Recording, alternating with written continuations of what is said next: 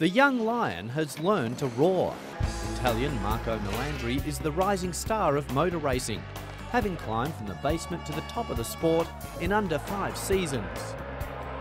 Introduced to racing at just six years of age, Marco shone through in motocross, mini bikes, and the National 125 Championship, leading him to Grand Prix racing by the time he was just 15.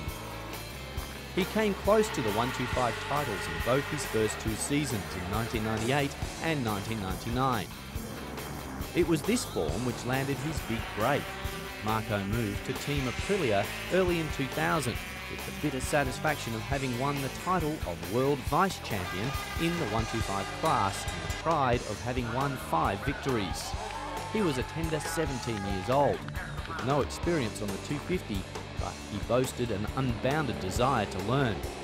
Marco soon came of age, adding the quality determined to win to his life. He knew the bike, was a team player, and began maturing both as a rider and as a man.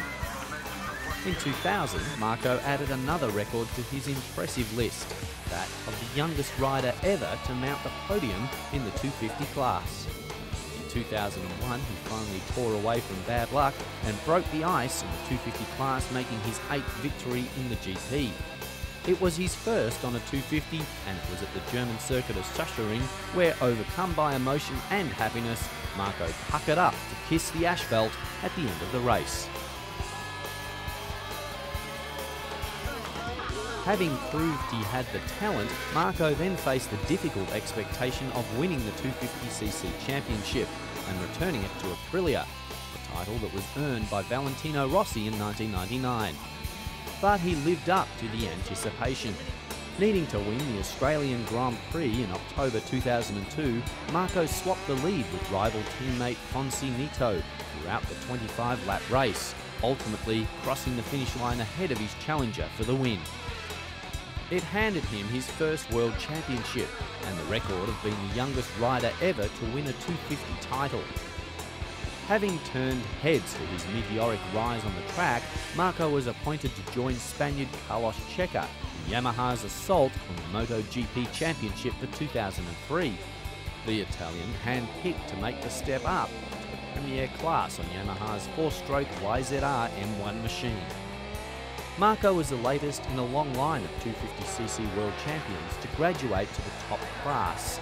Follows in the footsteps of the current cream of MotoGP, including Max Biaggi, Loris Capirossi, Valentino Rossi, and Olivier Jacques. And it wasn't long before he made his highly anticipated debut on board the Yamaha machine.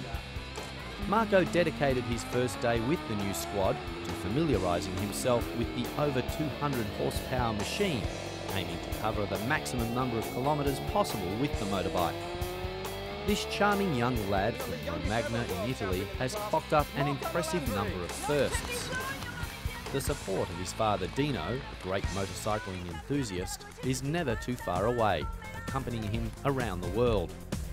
But when Marco is away from the track, he goes crazy about electronic music and being a DJ, Disc jockey Yuri is the stage name he uses when he picks up a pair of headphones rather than a helmet on his cranium. Yet the challenge of the bike takes priority. For his informal, open and friendly attitude, it is not a role which seems to frighten him. Marco is a naturally talented rider, destined for success. He has already suffered like a veteran, battled like a hardened champion, and discovered all the joy and pain, sweetness and harsh reality of the sport.